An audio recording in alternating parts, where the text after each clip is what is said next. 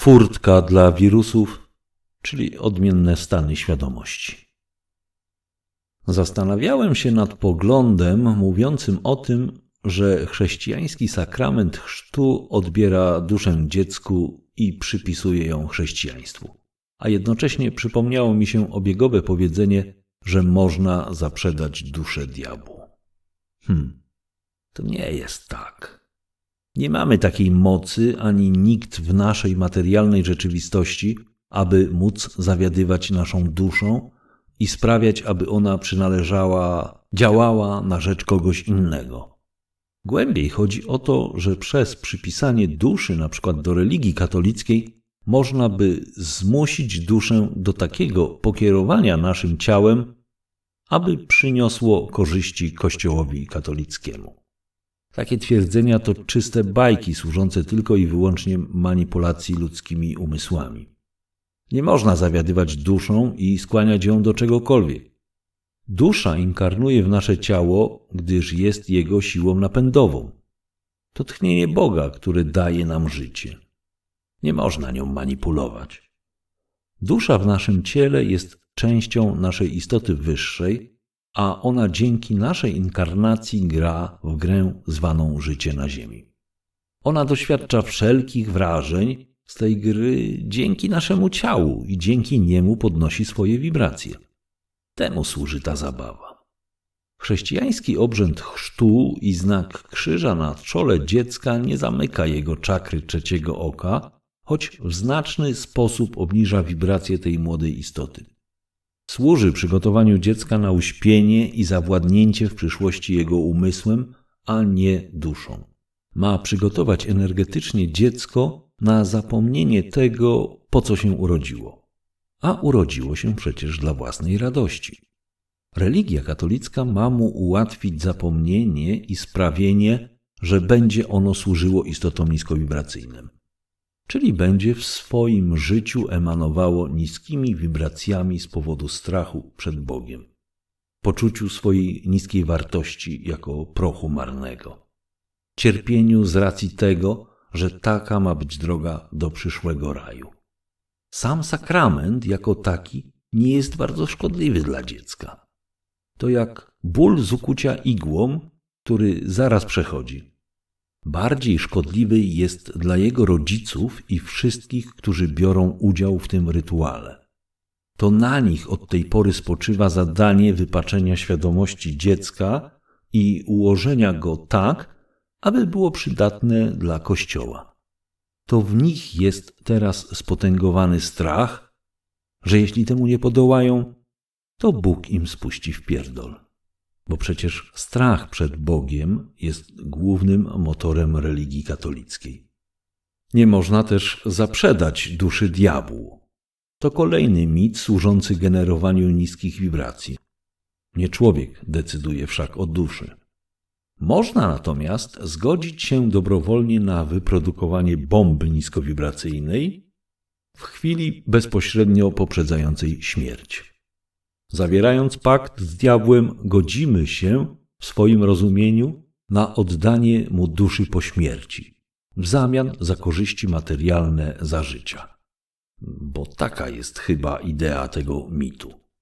Po podpisaniu cyrografu nasze życie ulega diametralnej poprawie i od tej pory opływamy w bogactwie, pamiętając jednak, czemu taki stan zawdzięczamy. Gdy zbliżamy się do końca życia, strach przed wykonaniem paktu się potęguje. Rośnie strach przed piekłem i wiecznym potępieniem. A największy jest przed samą śmiercią. Wtedy ból, żal, żałość, cierpienie eksplodują i zostaje wysłana olbrzymia dawka niskich wibracji właśnie do istot niskowibracyjnych. Dla nich to jest znaczący zastrzyk energii, którą one się żywią. Ulga przychodzi po śmierci, gdy jesteśmy w stanie zrozumieć zasady gry, gdy odzyskujemy świadomość, gdy się budzimy i wiemy, że nasze życie to był tylko sen. Każda manipulacja umysłem wykorzystuje zasadę prawa przyciągania, że podobne przyciąga podobne. To, o czym myślimy, tego doświadczamy w życiu. Dlatego mamy taki natłok złych informacji w mediach. Dlatego Kościół straszy Bogiem, byśmy produkowali jak najwięcej niskich wibracji. Jesteśmy hodowlą ku temu celowi, ale trzymają nas w ryzach jedynie własne poglądy, jedynie własne ograniczenia. Zmieniając myślenie, możemy się uwolnić. Odzyskując samoświadomość, możemy iść własną drogą, a nie poruszać się jak owca pędzona ze stadem. Na poziomie energetycznym nawet baran może stać się orłem i swobodnie latać. Nie ma przeciwwskazań. Są one tylko w umyśle barana. Obejrzałem też fragment jednego z odcinków strasznych rekolekcji dominikanina Adama Szustaka. Kilka lat temu częściej go oglądałem i wybierałem z tego potrzebne mojemu przebudzeniu elementy. Dzisiaj jednak nie mogłem tego obejrzeć do końca. Przepaść między wibracją pana Szustaka a moją znacznie się pogłębia. I zrozumiałem, o co tu chodzi. Każda istota ludzka w inkarnacji na Ziemi ma swoją drogę i znajduje się w danej chwili na właściwym dla siebie poziomie energetycznym. Katolicy uśpieni podczas chrztu i dalszych sakramentów mają, jak zresztą każdy, swój etap do przejścia i tylko od nich zależy, czy się obudzą w tym życiu. Nie ma obowiązku budzenia się. To indywidualna sprawa i trzeba do niej dojrzeć. Każdy z nas ma wolną wolę i może robić, co chce w swoim życiu. Ograniczają nas jedynie własne poglądy. I dlatego wszelkie instytucje będące na usługach istot niskowibracyjnych, potocznie zwanych szatanem, tak usilnie zabiegają o dostosowanie naszych poglądów do ich potrzeb, abyśmy jak najwięcej produkowali niskich wibracji. Nie od dziś twierdzę, że w moim odczuciu Kościół katolicki to instytucja satanistyczna. Ale rozumiem doskonale jego rolę i już nie zwalczam go. Żeby mieć radość ze zrzucenia ciężaru, najpierw trzeba go ponieść. Można też mieć radość z niesienia ciężaru, ale jest ona nieporównywalnie niższa od jego zrzucenia. To jak niesienie całe życie krzyża pańskiego, a po śmierci doznanie ulgi, że to było niepotrzebne i bzdurne. Być może tu jest zakodowane doświadczenie raju po śmierci propagowane przez katolików. Można też mieć radość z tego, że się nie wzięło na barki żadnego ciężaru i się lajcikowo przez życie idzie. Każdy ma wolny wybór. Rozumiem teraz rolę pana Szóstaka. Jest on wsparciem i drogowskazem dla tych katolików, którym coś się nie podoba w normalnym życiu Kościoła i ich świadomość zaczyna się budzić, choć jeszcze w minimalnym stopniu. Uśpionym moherom jego działalność nie pasuje, gdyż ich wibracje są na o wiele niższym poziomie. Szóstak wznosi ludzi na wyższy poziom snu, ale nie budzi. Zbliża do przebudzenia. Nie można się obudzić wierząc w miłosiernego Boga, który nas kocha za coś, za spełnienie jego jakichś wymagań. To jest zbyt interesowne, niegodne prawdziwego Boga. Nie rozumiem tego Boga, ale rozumiem tych, co go wymyślili. Nie jest też powiedziane, że wszyscy, którzy chcą się przebudzić, zrobią to. Zależy to bowiem od tego, jak głęboko są zmanipulowani i jak zdeterminowani do wejścia na wyższe wibracje. Nie ma sensu na siłę budzić. Nie ma sensu złościć się, że ktoś jest na niższym poziomie gry. Wiele dróg prowadzi do Boga i wszystkie są właściwe. Jednak słuchanie pana Szóstaka w obecnej mojej chwili niosło dla mnie zbyt niskie wibracje, aby było zasadne słuchać go do końca. To już nie są informacje przeznaczone dla mnie. Dla ludzi będących w piątych wymiarze większość rzeczy jest prosta i zrozumiała i coraz mniej niskich wibracji powoduje. Wiemy, że nie ma sensu nikogo potępiać za swoje poglądy, że nie ma sensu kogokolwiek przekonywać do naszego punktu widzenia. Wystarczy tylko mówić o tym, co się myśli, a osoby chcące nas słuchać zaczną podobnie do nas wibrować. Dobrze, żeby takie stanowisko zrozumieli też katolicy i zrozumieli zasady naszej rzeczywistości, w której wszyscy żyjemy.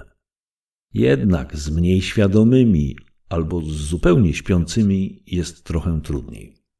Oni uparcie trzymają się swoich poglądów, nie silą się na zrozumienie innego stanowiska, a innowierców palą na stosach lub ścinają mieczem. Ale cóż, taka jest uroda tego odmiennego stanu świadomości. Na wszystko jest odpowiedni czas. Przypomniałem sobie, o czym nie napisałem poprzednio, co mi umknęło. Miałem opisać, czym jest nasze ja, gdzie się ono znajduje i dlaczego nie można go łatwo umiejscowić. Dlaczego mówi się moja głowa, moje ciało, moje myśli, moja dusza, ale nie wiadomo, kto to mówi, że jest to moje. Kim jest to ja? Wydaje mi się, że wiem gdzie. To ci się na razie tak tylko wydaje. Z kubka z kawą dobiegł mnie głos Jama, o którym w sumie pisząc tekst zapomniałem. Nie jest to odpowiedni czas na tego typu rozważania. Jeszcze nie jesteś na to gotowy. To zbyt rozległa wiedza, abyś ją mógł przy obecnym stanie swojej świadomości pojąć. Dlatego nie napisałeś o tym wcześniej i nie napiszesz teraz. Znaczy, że jestem jeszcze mało świadomy? Przecież jestem w piątym wymiarze. To chyba o czymś świadczy. Jesteś w piątym wymiarze, ale i tu nie jest tak, że chybna krowej już ciele. Tu też rozwija się swoją świadomość, pracuje nad nią i pogłębia. Jesteś na początku tej drogi i informacja o umiejscowieniu Twojego ja jest Ci teraz zbyteczna. To tak jak w grze komputerowej. Osiągnąłeś wyższy poziom, ale i tu są różne przeszkody do pokonania i zadania do wykonania. A przecież wiesz doskonale, że ta rzeczywistość to symulacja komputerowa. Tak jak do tej informacji musiałeś dojrzeć, tak i dojrzejesz do chwili, gdy dowiesz się więcej o swoim ja. Graj więc w tę grę na tym etapie, zdobywaj dobre wibracje, zwalczaj potwory swego umysłu i skupiaj wokół siebie ludzi tobie podobnych. Wszak gdy dwóch lub więcej zgromadzi się w moje imię. Znam to, choć to biblijne stwierdzenie, ale mówi o prawie przyciągania. Znaczy tyle, że jeśli grupa ludzi myśli podobnie, to szybciej to im się zmaterializuje. Jeśli grupa ludzi myśli o strachu, boi się, to świat cierpienia sobie stwarza. Tu jest odpowiedź, dlaczego wokół katolików nie ma raju. A same wojny, cierpienie, choroby, trucie, złość, zawiść, a tylko minimalne ilości miłości i radości. Nie odpowiada mi obcowanie z tak myślącymi. Nie moje to podwórko. Wolę być z jedną osobą myślącą podobnie do mnie, niż z miliardem myślących inaczej. I co zrobisz? Dalej będę pogłębiał swoją samoświadomość, choć jestem otoczony religią katolicką. To jest podobnie jak z wirusami. Jestem nimi otoczony, mam je w sobie, ale nie choruję, bo mój system odpornościowy działa odpowiednio. Gdy go osłabię, przykład stresem, to otworzę furtkę dla wirusu. Tak samo, gdy zwątpię w swoją drogę, w jej zasadność, albo będę się złościł na poczynania katolików.